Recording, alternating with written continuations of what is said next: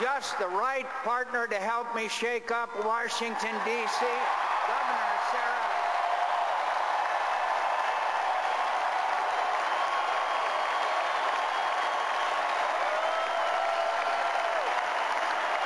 Governor Sarah Palin of the great state of Alaska.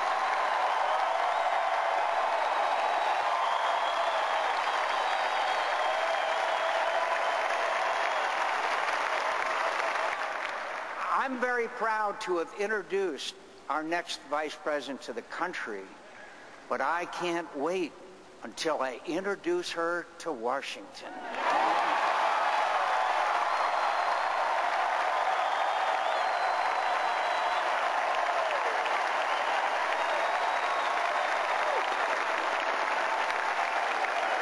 Let me just offer an advance warning to the old big spending, do nothing, me first, country second crowd.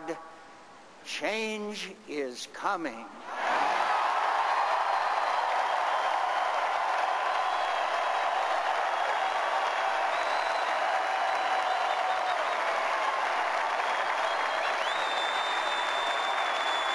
My fellow Americans, when I'm president, we're going to embark on the most ambitious national project in decades. We're going to stop sending $700 billion a year to countries that don't like us very much, and some of that money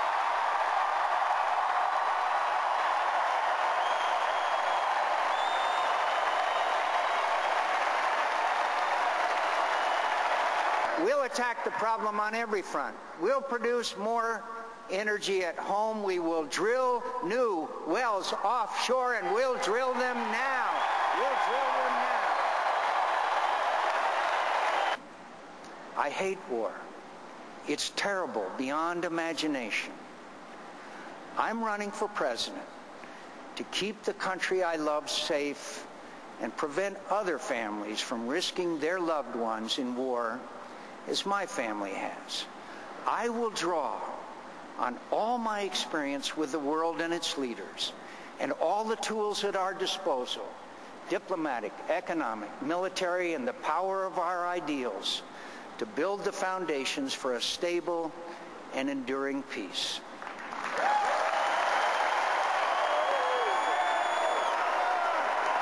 Long ago, something unusual happened to me that taught me the most valuable lesson of my life. I was blessed by misfortune. I mean that sincerely. I was blessed because I served in the company of heroes and I witnessed a thousand acts of courage and compassion and love. On an October morning in the Gulf of Tonkin, I prepared for my 23rd mission over North Vietnam. I hadn't any worry I wouldn't come back safe and sound. I thought I was tougher than anyone. I was pretty independent then, too. I liked to bend a few rules and pick a few fights for the fun of it. But I did it for my own pleasure, my own pride. I didn't think there was a cause that was more important than me. Then I found myself falling toward the middle of a small lake in the city of Hanoi with two broken arms, a broken leg, and an angry crowd waiting to greet me. Was dumped in a dark cell and left to die. I didn't feel so tough anymore. When they discovered my father was an admiral, they took me to a hospital. They couldn't set my bones properly, properly, so they just slapped a cast on me. And when I didn't get better and was down to about 100 pounds, they put me in a cell with two other Americans. I couldn't do anything. I couldn't even feed myself. They did it for me. I was beginning to learn the limits of my selfish independence. Those men saved my life. I-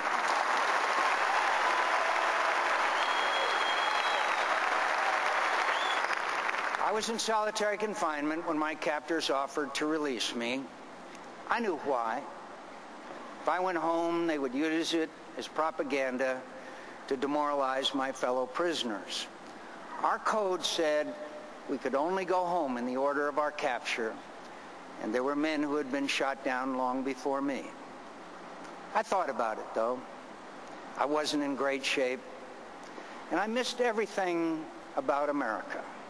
But I turned it down. A lot of prisoners had it much worse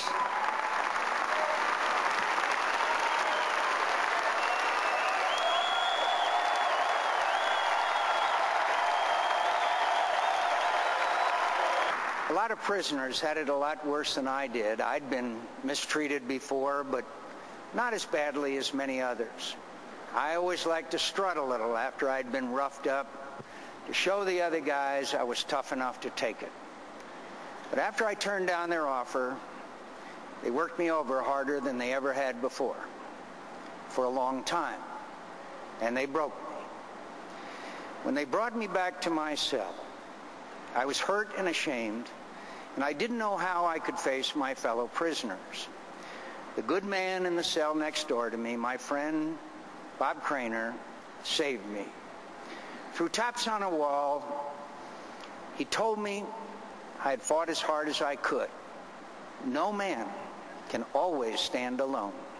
And then he told me to get back up and fight again for my country and for the men I had the honor to serve with because every day they fought for me.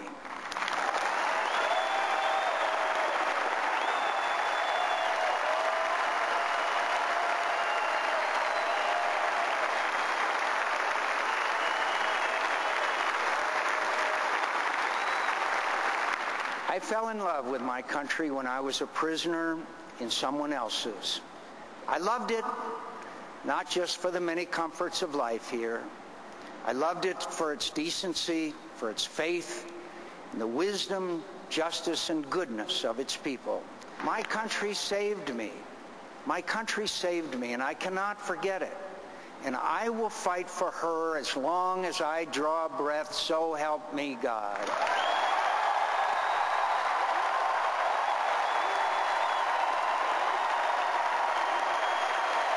If you find faults with our country, make it a better one.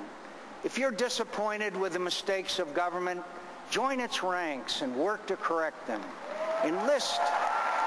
Enlist in our armed forces. Become a teacher. Enter the ministry. Run for public office. Feed a hungry child. Teach an, an illiterate adult to read. Comfort the afflicted. Defend the rights of the oppressed our country will be the better, and you will be the happier because nothing brings greater happiness in life than to serve a cause greater than yourself.